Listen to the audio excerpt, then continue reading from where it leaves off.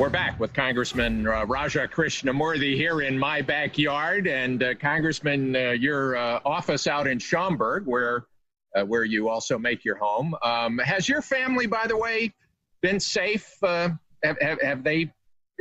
Senator Durbin told us a few weeks ago about his grandchildren in New York, in Brooklyn, coming down with, and and the whole family there coming down with the coronavirus.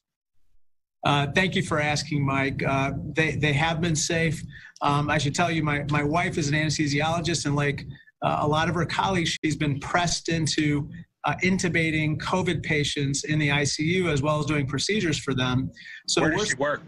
At uh, Hinsdale and LaGrange hospitals. Um, and so we're saying an extra prayer for all of our frontline workers and healthcare workers in general. Um, we just, you know, want to make sure they come home safe. Um, but thank you for thank you for asking. So let, let me ask you about uh, your uh, your predecessor up there in that northwest suburban uh, congressional uh, district, uh, Tammy Duckworth, now in the U.S. Senate, of course, has been mentioned as a potential candidate for VP. Who do you think Joe Biden should pick? I think she'd be an outstanding choice. She's, my, of course, my star constituent, so I'm a little prejudiced. But um, you know, I think that the the vice president should choose someone who could serve on day one as president um, should the need uh, ever arise, God forbid. Does she think, have that kind of experience?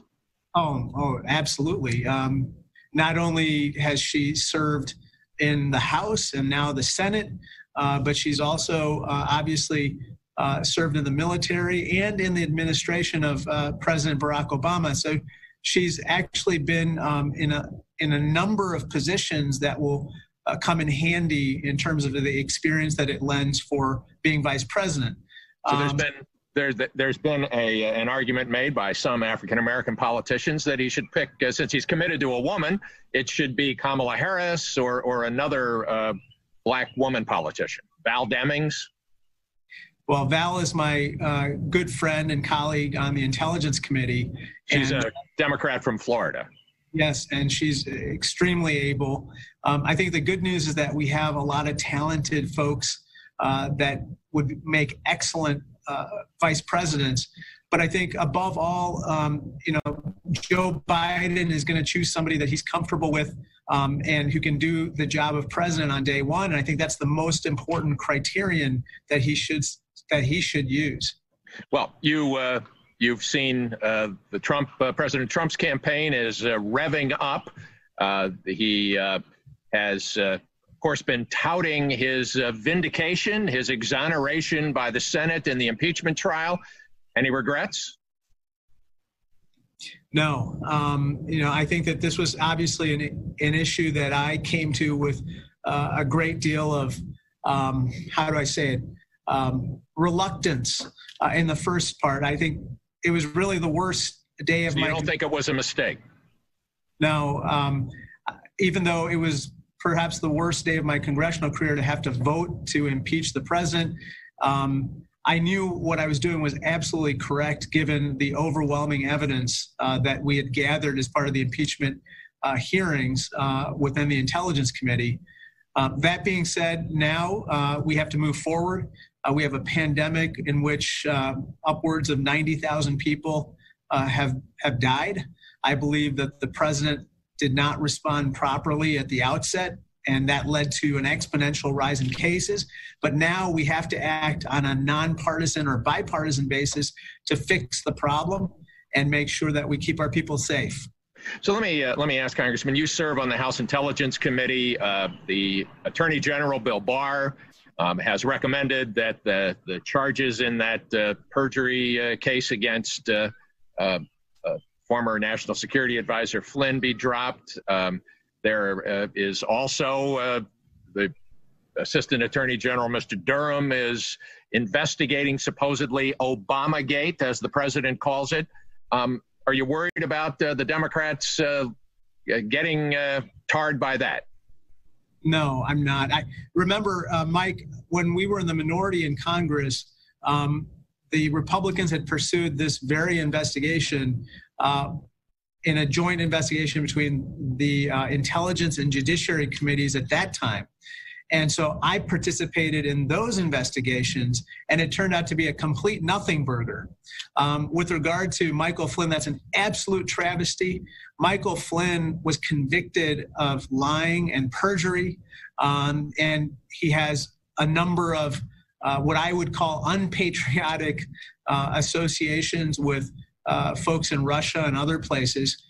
All that being said, uh, you know, Bill Barr unfortunately uh, did something that an attorney general should never do, which is rather than act as an attorney for the people of the United States, it appears that he acted as an attorney for Donald Trump, and that is not right. Let me ask uh, last uh, last topic. Uh, there are reports that the president's preparing to uh, launch big arena rallies again. Um, should Joe Biden get out of the basement there at his home in Delaware and come to Chicago, come to Schaumburg, uh, go to Michigan and Wisconsin? How should he campaign? Of course, he's welcome in all these places, and I think he's popular in all these places. But I think, Mike, um, right now, I think the most important thing is uh, as we reopen the economy, as we uh, make sure that uh, we can save livelihoods and save lives, uh, that we also campaign in a way that is respectful of the public health situation we're in. And so I think that Joe Biden uh, would rightly, you know, I don't think he would probably uh, hold a big uh, congregational type of event right now, given the health risks. Well, and the president would, might say derisively that he couldn't draw a crowd.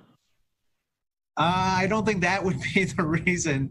Um, I think that the the reason would be that there's just too much risk of uh, a second wave of infections, and I think that the president, I respectfully submit to the president, um, doing something like that would probably cause the same result, and um, I think that that would, you know, cause you know police officers and and and other people that would have to guard the president uh, you know, potentially getting sick. I mean, this is not a, a, light issue.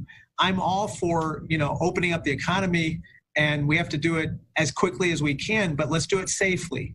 And uh, do, you have a, do you have a plan? Uh, you, you, obviously uh, are also, your name's on the ballot in the fall. Uh, when do you plan to start uh, resuming the luncheon speeches and uh, the handshaking kind of campaign stops?